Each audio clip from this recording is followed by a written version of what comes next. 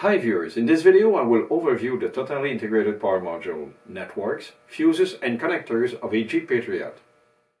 TIPM is the acronym and it's commonly called TIPM, so I will use this word during the presentation. The TIPM is directly powered by the positive battery cable.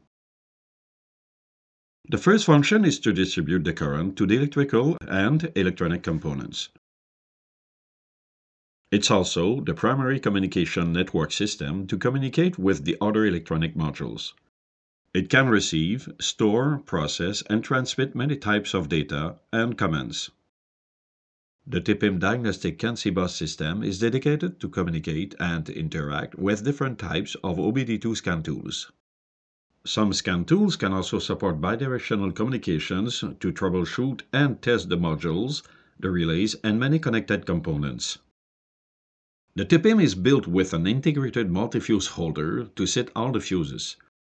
The basic function of the fuses is to protect the electrical and electronic components.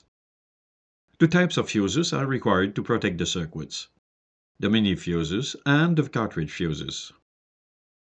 The mini fuses can be removed with two fingers, but it is more efficient to use a fuse puller or needle nose pliers to remove them.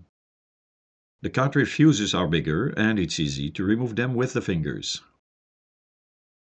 There are two fuse carriers to pair some fuses.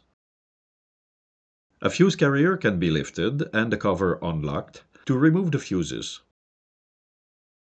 The fuses are simply inserted in the carrier, then pressed down in place. Then the cover can be closed and clipped. It could be useful to inspect the fuses to see if they are overly oxidized. They are not too expensive, so you can replace some of them.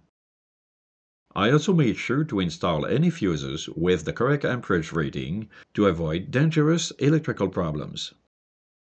Normally, to get the information about the fuse layout, we have to refer to the fuse reference numbers. They are written on the backside of the fuse cover. These reference numbers are part of a chart printed in the fuse section of the user's manual.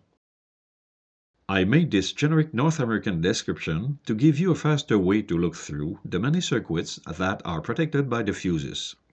But to be specific about your vehicle, refer to the user's manual, because the information may differ depending on year, model, options, and country. Before disconnecting a TIPM, if applicable, the key must be removed from the ignition switch. To begin, the air inlet has to be removed.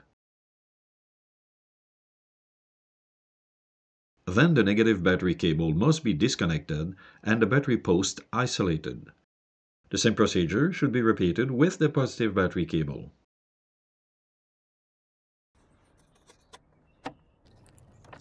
Later, when the TIPM is unfastened from the holding brackets, the C9 positive cable connector can be disconnected from the C9 stud. The big connectors are more tricky to disconnect. To begin, the red locking slider is retracted. Next, the locking tab is depressed to free the lever. Then, while pressing the lever towards the TIPM and pulling out the connector at the same time, the connector can be disconnected. To unplug a small connector, you have to depress the locking tab, then pull the plug out. When all harness connectors are disconnected, the TIPM can be fully removed and checked. After, it's easy to inspect all the contact pins and the contact blades used for the connectors. I made this drawing to show the pinout configuration for the 10 harness connectors. The C1 has 13 cavities, the C2 has 14 cavities, the C3 has 16 cavities, the C4 has 10 cavities, the C5 has 14 cavities. The C6 has 13 cavities.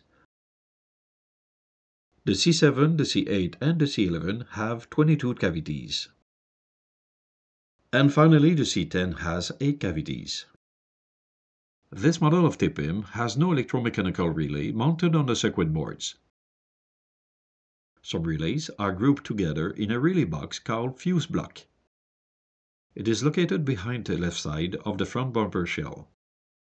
Here you can see the fuse block when the bumper shell is removed. If your TIPM has an obvious problem like this one, you can check online to find fully compatible rebuild ones sold by legitimate businesses. For those of you who are interested in reading about how to remove and install a TIPM, you can open the hyperlinks available in the video description to access the webpage containing the information.